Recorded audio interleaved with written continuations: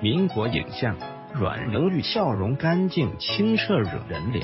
图三上海滩头牌交际花唐英提及中国无声电影时期最著名的影星阮玲玉，眼前不禁浮现这位民国影后甜美的笑容、弯弯的眉眼、窈窕的身姿，时常一袭旗袍加身，堪称三十年旗袍的形象代言人，被誉为中国的英格丽褒曼。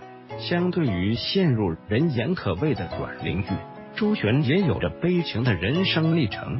她以如今笛鸣、沁入人心的歌声，荣获金嗓子的美誉，也是少有的影视界三栖歌星。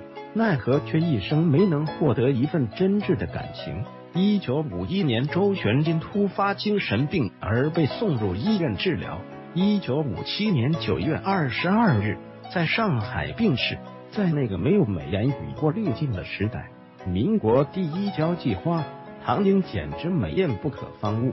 她年轻时的颜值颇高，窈窕的身姿，甜美的嗓音，前卫的衣着，秀外慧中，擅长昆曲、中英文的水平都很杰出，艺术造诣也很高。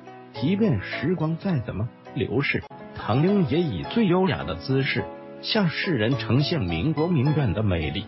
蝴蝶原名胡桂华，中国二十世纪著名女演员，抗战时期民国第一美人。她长得好，情商高，气质佳，是民国不可不看的风景线。那么蝴蝶有多美貌呢？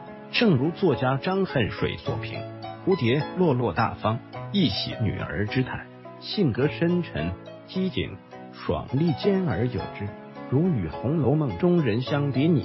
十分之五六若宝钗，十分之二三若袭人，十分之一二若晴雯。